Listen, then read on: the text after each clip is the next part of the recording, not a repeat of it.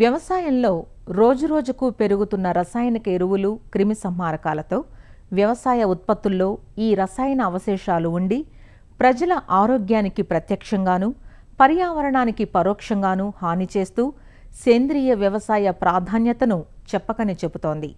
దీంతో ఇటీవలి కాలంలో చాలామంది రైతుల దృష్టి సేంద్రియ విధానాల వైపుకు మళ్ళింది. అయితే రోజురోజుకు తరిగిపోతున్న పశు సంపద మరోప్రక్క పశుపోషణకు పెరుగుతున్న వ్యయం పెరిగిన కూలీ సమస్యలతో సేంద్రియ సాగు రైతులకు కొంత కష్టసాధ్యంగా మారుతోంది. అయితే పశువులు లేని రైతులు సైతం తక్కువ ఖర్చుతో సులువుగా సేంద్రియ సాగును భేషుగ్గా చేపట్టేలా ఘజియాబాద్ శాస్త్రవేత్తలు కృషి చేశారు. వేస్ట్ డీకంపోజర్ అనే ద్రావణాన్ని అందుబాటులోకి తెచ్చారు. దీన్ని వాడుతున్న రైతులు మంచి ఫలితాలను చవిచూస్తున్నారు. రసాయనాల వాడకంతో కలుషితమైన భూములు సమస్యాత్మకమైన భూములు సైతం వేస్ట్ డీకంపోజర్ వాడకంతో తిరిగి జీవం సంతరించుకున్నట్లుగా రైతుల అనుభవాలు చెబుతున్నాయి. అసలు ఏమిటి ఈ వేస్ట్ డీకంపోజర్? ఎలా దీన్ని వాడటం? ఎందుకని దీన్ని వాడాలి? ఏ భూములకైనా వాడవచ్చా? అనే సందేహాలు మీకు వచ్చాయా? వేస్ట్ డీకంపోజర్ గురించిన పూర్తి సమాచారంతో ఈరోజు అన్నదాతలో మీ ముందుకొస్తున్నారు. ఘజియాబాద్ శాస్త్రవేత్త డాక్టర్ ప్రవీణ్ కుమార్. వివరాలను మీరే చూడండి. ఈ వేస్ట్ డీకంపోర్ట్ని డాక్టర్ కిషన్ చంద్ర గారు ఇప్పుడు present director national centre of organic farming తాను పదకొండు సంవత్సరాల కృషి చేసి దాన్ని వేస్ట్ డీకంపోజర్ని రూపొందించడం జరిగింది. ఆవు పేడ నుంచి ఒక మూడు నాలుగు సూక్ష్మజీవులను వేరు చేసి దీనికి జోడించడం జరిగింది.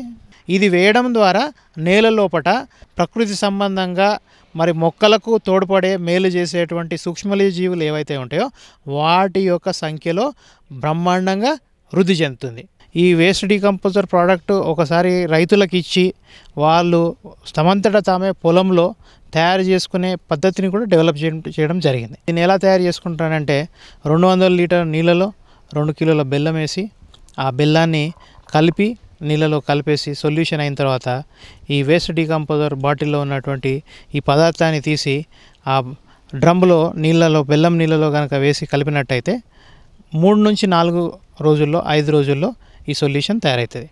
దీన్ని ప్రొద్దున ఒకసారి సాయంత్రం ఒకసారి కలుపుకుంటే సరిపోతుంది. ఎలాంటి నీళ్ళైనా కానీ వాడుకోవచ్చు. కానీ ఇక్కడ మనకు డ్రమ్ ఏదైతే తీసుకున్నామో ఆ డ్రమ్ము ప్లాస్టిక్ది కానీ పీవీసీది కానీ సిమెంట్ ట్యాంక్ కానీ సిమెంట్ తొట్టి కానీ లేదంటే మట్టి కుండ కానీ ఇట్లాంటివి తీసుకొని దాంట్లో కలుపుకోవచ్చు. మెటల్ డ్రమ్ములో దీన్ని కలపరాదు. మెటల్ రాడ్తో దీన్ని తిప్పరాదు. తయారైందా లేదా అని చెప్పేసి రైతులు మరి గుర్తించడానికి ఒక ముఖ్యమైన నాలుగు గుణాలను రైతులు తెలుసుకోవాల్సి ఉంటుంది. మొదటగా బెల్లం వేసి నీళ్ళను కలిపినప్పుడు అది లేత బెల్లం రంగులో నీళ్ళు ఉంటాయి. లైట్ బ్రౌన్ కలర్లో ఉంటాయి. ఈ వేస్ట్ డీకంపోజర్స్ ఏదేదైతే మనం యాడ్ చేస్తామో మూడు నుంచి నాలుగు రోజుల్లో కలుపుతూ ఉంటే అది మొదటగా లేత పసుపు రంగులో సొల్యూషన్ తయారవడం జరుగుతుంది. రెండవది దానిపైన నురుగు మనం చూస్తాం కొన్నిసార్లు. మూడవది ఒక అట్టులాగా తెల్లని అట్టులాగా మనకు కనిపిస్తూ ఉంటుంది. ఆ నాలుగవది పులిసిన వాసన మనకు ఈ ఈ నాలుగు గనక లక్షణాలు ఉన్నట్టయితే వేస్ట్ డీకంపోజర్ పూర్తిగా తయారైంది ఉపయోగించడానికి సిద్ధంగా ఉందని అర్థం.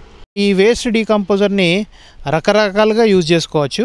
మొదట ఏంటంటే ఈ తయారైన ఈ ద్రావణాన్ని మనము కాంపోస్ట్ తయారు చేసుకోవడానికి ఉపయోగించుకోవచ్చు. రెండోదిగా మరి నేల లోపట సూక్ష్మజీవుల్ని పెంచడానికి నేల యొక్క ఫర్టిలిటీని పెంచడానికి మనకి బహుగా తోడ్పడుతుంది. మూడోది పెస్ట్ కంట్రోల్కి డిసీజ్ మేనేజ్మెంట్కి ఈ వేస్ట్ డీకంపోజర్ యూజ్ అవుతుంది. నాలుగోది మనకు సీ ట్రీట్మెంట్కి కూడా యూజ్ అవుతుంది. ఈ యొక్క వేస్ట్ డీకంపోజర్ పలు రకాలుగా రైతన్నలు ఉపయోగించుకోవచ్చు. తద్వారా వాళ్ళు ఎలాంటి బయట నుంచి తెచ్చేటువంటి ఎరువులు కానీ యూరియా డిఏపి ఎంఓపి పొటాషు ఇట్లాంటి ఏవి కూడా ఉపయోగించుకోకుండా కేవలము ఇరవై రూపాయల బాటిల్తో ఈ బెల్లము నీళ్ళు తయారు చేసుకుంటూ దీన్ని తోడు కలుపుకుంటూ మనం వాడుకోవచ్చు. ఇది సేంద్రియ ఎరువుకి ఖచ్చితంగా ప్రత్యామ్నాయమే దీంట్లో more than ten to the power of nine మరి సెల్స్ ఉంటాయి. దీన్ని బట్టి మరి దీని యొక్క నాణ్యత తెలుస్తుంది. దీని నాణ్యత ఇంకొకటి ఏంటంటే తెలిసేది ఒకసారి ఈ సొల్యూషన్ని ఇది- ఇది కనుక మనం సొల్యూషన్లో వేసినట్టయితే ఇది మనకు కొన్ని కోట్ల సంఖ్యలో ఈ దీంట్లో ఉన్న సూక్ష్మజీవులు అభివృద్ధి చెందుతాయి. ఒకవేళ దీంట్లో కనుక క్వాలిటీ సూక్ష్మజీవులు లేనట్టయితే ఇది ఒక తరానికే తయారవుతుంది అంటే ఒకసారి తయారు చేసుకోవచ్చు. ఒకసారి మనం తయారు చేసుకున్న ఒక డ్రమ్లో కనుక మనం తయారు చేసుకున్నట్టయితే ఆ డ్రమ్ములో ఒక పది లీటర్లు లేదంటే ఇరవై లీటర్ల సొల్యూషన్ మిగిల్చి మళ్ళీ రెండు వందల లీటర్ల నీళ్ళు పోసి మళ్ళీ రెండు కిలోల బెల్లం వేసుకుంటే మళ్ళీ తయారవుతుంది దానికంటే ఇంకా బాగా తయారవుతుంది అంటే క్వాలిటీ కనుక లేనట్టయితే మళ్ళీ మళ్ళీ తయారు చేసుకునే వీలు అనేది ఉండదు. ఎలాంటి ఖర్చు లేదు. ఓన్లీ బెల్లం మాత్రం తీసుకొని నీళ్ళలో కలుపుకొని ఉంటుండు. సో కొన్నప్పుడు ఏదైతే క్వాలిటీ ఉందో ఇప్పుడు కూడా అదే క్వాలిటీ వస్తుంది. దీన్ని మనము పిచికారీ చేయాలనుకుంటే చీడ పీడలకు పిచికారీ చేయాలనుకుంటే వివిధ దశల్లో వివిధ రకాలుగా మనం వాడుకోవాలి. ఉదాహరణకు మొట్టమొదట మనము చీడపీడల్ని కంట్రోల్ చేయాలనుకుంటే మనం ముఖ్యంగా తెలుసుకోవాల్సింది ఏంటంటే మన నేలలు కనుక మరి ఈ యొక్క చీడపీడ రహితంగా ఉంటే ఆటోమేటిక్గా మరి మొక్కల లోపల తెగుళ్ళు మరి ఈ యొక్క రోగాలు అనేటివి రాకుండా ఉంటాయి. అందుకోసం అని చెప్పేసి నేలలో ఉన్నటువంటి చీడల్ని పీడల్ని మొదట మనం దూరం చేయాలి. దానికోసం వేస్ట్ డీకంపోజర్ని కనుక మనం సాయిల్ అప్లికేషన్గా ఇస్తే మరి నేలలో ఉన్నటువంటి చీడపీడలు ఫస్ట్ అంతమవుతాయి.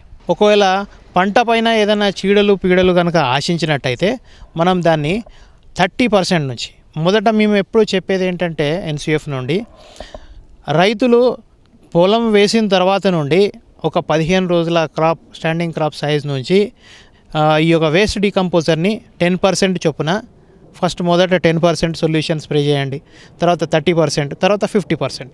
ఇట్లా ఫిఫ్టీ పర్సెంట్ సొల్యూషన్ని రెగ్యులర్గా మనకు ఫ్రూటింగ్ స్టేజ్ వరకు కనుక స్ప్రే చేసుకుంటూ పోతే ఏ తెగులు కూడా ఆశించదు. ఒకవేళ ఏదైనా తెగులు ఆశించింది అనుకోండి ఆశిస్తే అప్పుడు ఏం చేయాలనంటే హండ్రెడ్ పర్సెంట్ సొల్యూషన్ని అంటే ఏదైతే డ్రమ్ములో మనం ఒక పది లీటర్ల ట్యాంక్ తీసుకొని మనం స్ప్రే చేసినట్టయితే పది లీటర్ల ట్యాంకులో పది లీటర్ల వేస్ట్ డీకంపోజర్ సొల్యూషన్ పోసి దాన్ని మనము పిచికారీ చేసుకోవాలి. అది ఎట్లా పిచికారీ చేసుకోవాలి అంటే మొక్క పూర్తిగా తడిచేటట్టు మనం పిచికారీ చేసుకోవాలి. కాబట్టి వేస్ట్ డీకంపోజర్ అన్ని నేలలకు అన్ని పంటలకు నిస్సందేహంగా వాడుకోవచ్చు. బ్రహ్మాండమైన లాభాలు రిజల్ట్స్ ఉన్నాయి. దీన్ని కేవలం ఇరవై రూపాయల్లోనే రైతులకు అందించి వివిధ రకాలుగా ఉపయోగించడానికి మరి రైతులకు కృషి చేయడం జరుగుతుంది. ఆర్గానిక్ ఫార్మింగ్ని దేశవ్యాప్తంగా ప్రమోట్ చేయడానికి ఎనిమిది రీజనల్ సెంటర్స్ ఉన్నాయి. ఈ ఎనిమిది రీజనల్ సెంటర్స్ ఎక్కడెక్కడ ఉన్నాయంటే నేషనల్ సెంటర్ ఏమో గజియాబాద్లో ఉంది గజియాబాద్లోనే ఇంకొక రీజనల్ సెంటర్ ఉంది పాట్నాలో ఒక రీజనల్ సెంటర్ పంచకులాలో ఒక రీజనల్ సెంటర్ ఉంది ఇంఫాల్ భువనేశ్వర్ జబల్పూర్ నాగ్పూర్ బెంగళూరు. ఇలా ఎనిమిది మరి రీజనల్ సెంటర్స్ ఉన్నాయి. నేషనల్ సెంటర్ ఆఫ్ ఆర్గానిక్ ఫార్మింగ్లో తయారైనటువంటి ఈ వేస్ట్ డీకంపోజర్ని మనం ఈ వివిధ రీజనల్ సెంటర్స్లో ఉంచడం జరుగుతుంది.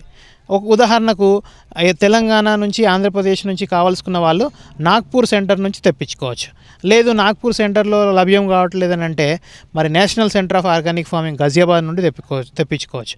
మరి ఎలా తెప్పించుకోవచ్చు అని అంటే వారు రైతులు ఎవరైతే అక్కరగా ఉన్నారో వాళ్ళు మనీ ఆర్డర్ ద్వారా కానీ మరి డిమాండ్ డ్రాఫ్ట్ డీడీ ద్వారా కానీ పోస్టల్ ఆర్డర్ ద్వారా కానీ దీన్ని తెప్పించుకోవచ్చు.